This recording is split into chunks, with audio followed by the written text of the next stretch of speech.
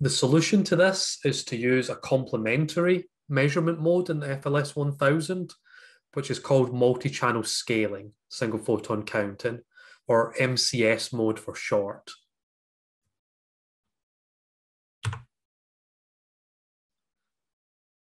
The basic layout of MCS mode is quite similar to TCS-PC. We've got some counting electronics, a laser and a sample and a detector.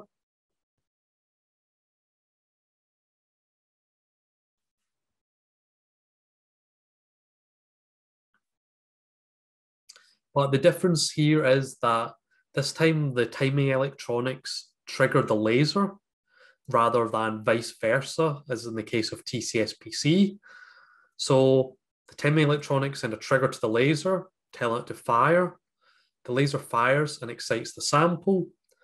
The sample emits multiple photons, which are detected by the detector and converted into electrical pulses, which are then recorded using the timing electronics. And how this works is that the timing electronics has a, a time gate, and any photons that arrive within this time gate are counted, and the number of photons that arrive within the gate are added to the histogram stored in memory.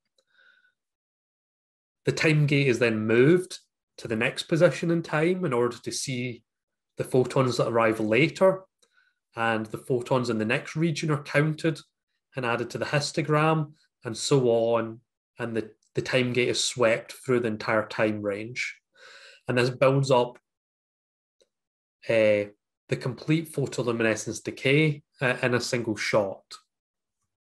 However, the number of photons here is typically very small, and in order to increase the signal to noise, you will then repeat this process many times uh, so again, flashing the laser uh, thousands or tens of thousands of times to build up a high signal to noise photoluminescence decay. But the key thing is that multiple photons are detected during each flash of the laser. MCS mode is ideal for measuring longer lifetimes, where TCS-PC would be too slow, such as delayed fluorescence and phosphorescence. An example here is shown on the left, which is the phosphorescence decay of a europium complex measured using MCS mode, which revealed a lifetime of about 120 microseconds. So MCS mode is the faster of the two techniques, but the downside is that it has a much lower time resolution. So MCS has a 10 nanosecond time resolution, where TCS-PC has 305 femtoseconds. So TCS-PC is the method of choice for measuring fast fluorescence lifetimes or lifetimes that contain very fast components, where you require a high time resolution and for delayed fluorescence and phosphorescence, where you want to just acquire your measurement quickly, then MCS mode uh, is the, the, the method of choice.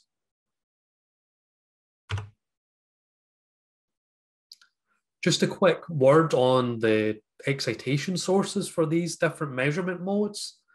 So we have two different ranges of uh, lasers and LEDs uh, for TCS-PC and MCS.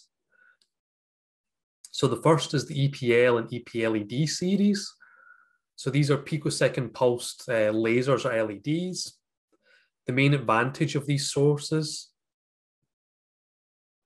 is they're very narrow pulse widths and they're ideal for measuring fluorescence or strong delayed fluorescence emission.